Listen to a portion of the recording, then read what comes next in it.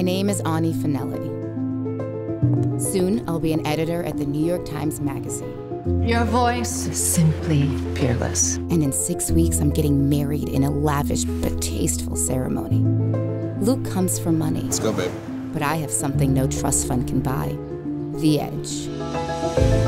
Love my work, hate babies. I'm this close to the life no one thought I deserved. This is Ani. Nice to meet you. Mr. Larson, it's me. Tiffany. Tiffany? I'm working on a documentary about the incident at your high school. There are still so many questions that you've never answered. People want to know were you a hero or an accomplice?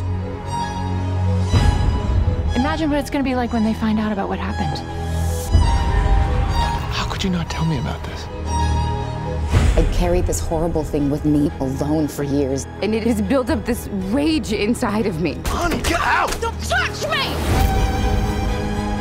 I don't know what's me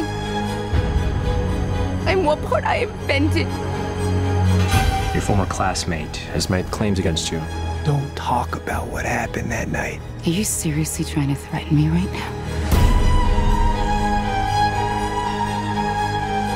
You have to get into the nitty gritty details for the whole world?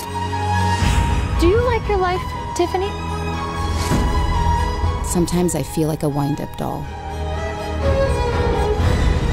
Turn my key, and I will tell you exactly what you want to hear.